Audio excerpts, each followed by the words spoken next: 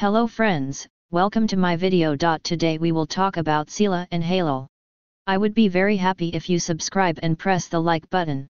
Now let's move on to the video. Reports have surfaced suggesting that actors Sıla Turkoglu and Halil Ibrahim Ceyhan have rekindled their romance, sparking much excitement and conjecture in the Turkish entertainment industry. The shocking announcement of their romantic reunion has shocked both fans and media sources, rekindling curiosity about their private lives and grabbing the attention of viewers worldwide. Fans who have been anxiously following Turkoglu and Ceyhan's journey have responded with celebration and support to their choice to give their relationship another opportunity after a period of separation. The news of their reconciliation has given romantics everywhere new hope and demonstrated that love can rekindle despite obstacles and disappointments. Fans are in awe of the couple's apparent chemistry and passion for one another when pictures of them together surface online.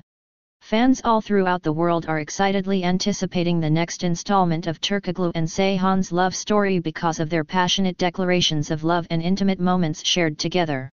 A potent reminder of the enduring power of love and the potential of second chances is provided by the news of Turkoglu and Ceyhan's reunion.